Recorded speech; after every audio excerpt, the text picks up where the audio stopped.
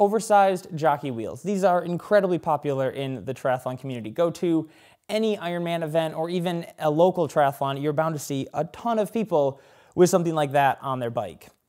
But given the cost of these upgrades, how much time can we reasonably be expected to save on race day? How much is something like this actually worth? Let's find out. Now, I'll be honest, when I first set out to make this video, my assumption was that the stock stuff on your bike is terrible, it's utter garbage, and it needs to be replaced as soon as possible. And that was, I mean, that, that was my feeling, that's what I told people, and I really believe that. But I, I had great reason to believe that. So let me show you. This piece right here, this is a jockey wheel off of probably like a 105 bike. It spins okay, but as you can see, not great. That's a low end part. So it's like, well, okay. This, let's put it back together, is off of a, Dur a brand new Dura-Ace uh, Di2 derailleur. I mean, that doesn't seem very good. And then, let's look at this. This is an aftermarket jockey wheel from Tacx, uh, Tacx Ceramic. Watch this. You see? So I think this is where a lot of people, including myself, kind of get stuck. We see this and think, well, that's just absolutely terrible. I'm I'm losing minutes on race day. I got to get rid of these things, especially when something like this exists. But what does the data say? What does the actual numbers from a lab tell us? Well, thankfully we can turn to friction facts and we can have our answer. So looking at this graph, it sort of initially looks like, well, we're right. The stock stuff is absolute garbage, and that's all those things over there. And then the aftermarket stuff is great, and that's all over here, and that's why the graph is so big. But the scale is not very big. So the scale is like only two watts. And the difference between the very best and very worst performing wheels are, I think it's like 1.33 watts, 1.337 or something. So it's not nothing, but it's also not a ton. But the most surprising thing for me, this, this totally blew my mind. So this keeps coming apart. This Dura-Ace wheel, this thing that spins like this, and this Tacx wheel that spins like this. The difference in friction, according to friction facts, between those two things is less than one tenth of a watt. It's nothing. It's literally the definition of nothing, which totally blows my mind because it, it intuitively seems like a ton. And so I understand how people see that and think, I have to replace this because I was in the same boat. But what about the oversized wheels? What's that worth? So one of the claims of these oversized systems is that they reduce the friction of your drivetrain by making your chain more efficient. They claim that by saying that the chain has to make less bends as it goes around your um, rear derailleur and cassette and everything. So because it's bending less, it doesn't have to go through as tight of angles because the wheels are bigger, that reduces the friction in your chain.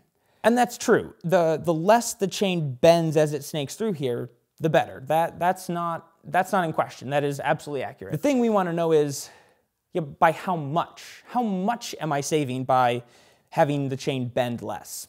Well, Jason over at Friction Facts did the test, and when you compare one of these oversized systems, his was a 15 tooth system, to the standard 11 tooth system on a Dura-Ace uh, derailleur, you save 0.25 watts a quarter of a watt is saved by improving the way that the chain goes around these gears. There is a claim that that's under ideal conditions when your chain is well optimized. So if you don't have a very good chain, it's probably gonna be more, but I mean, it's not much. However, these oversized systems have one more trick up their sleeve. So the main job of this arm is to keep your chain in tension. And if you've watched the chain video that I did a couple weeks ago, link up here and down in the description if you haven't seen it, but the amount of tension in your chain directly affects how much friction there is in your chain. So less tension, less friction.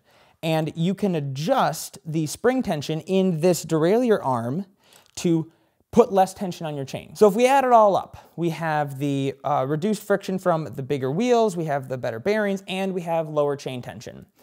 Jason Smith over at Friction Facts did the math, he ran the tests, and the, the combined effect of all of these things over a standard Dura-Ace cage is 1.67 watts. Now that we know how many watts you can expect to save, we can finally answer the question of how much time can you expect to save on race day. Looking at bikecalculator.com over a 70.3 bike course, you can expect to save between 12 and 24 seconds with a 1 to 2 watt improvement.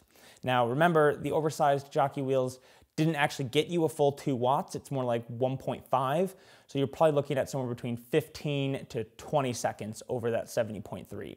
Then I went to bikecalculator.com to use uh, one of my previous 70.3s to try to predict what one or two watts would save you.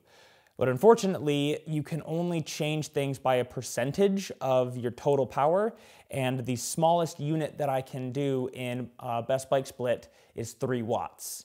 So I can't even I can't even give you any of that data. Finally, this brings us to kind of the most painful part of the video for me at least, and that is should you should you upgrade these guys? Should you get maybe just like another uh, non-standard 11 tooth or should you go all the way to the oversized system? And unfortunately, it doesn't seem like it's really worth it, which, which pains me so much because I'm a huge fan of the oversized systems. I love them. I, I had fully expected to buy a set for my TT bike before my Ironman this year. Um, obviously, Sarah has some on her bike. I like him. I'm a huge fan. And even with all of this data, I still get the sense that it's like this thing, I still don't like it. So it's a hard place to be. And I completely understand how people have totally bought into the hype because I'm right there with you. But the data doesn't really support the fact that it's all that helpful. So where does that leave us? Well, I think this is the best I can tell you. If you want one, go get it. It's not gonna hurt you, it's not gonna make you slower, and there is a benefit to be had. So if you have the money and you want one, go out and get it. Totally guilt-free, you earned it, go for it. However, if you don't have a set, if you can't afford it or you just don't wanna spend the money on it, rest assured you're not losing really anything maybe 20 seconds. But what do you think? Do you have an oversized system? Do you love it? Do you hate it? You know, are you surprised as I was with the results? Let me know in the comments down below. Let me know what you think. Let's talk about it. And if this video was helpful, if you were surprised by any of the results, give it a big thumbs up so I know you appreciate it and we can make more of this content. We'll see you next week for another Workout Wednesday. We're gonna be talking about how to get the most accurate, reliable data out of your power meter for those FTP tests. All right, we'll see you later. Bye.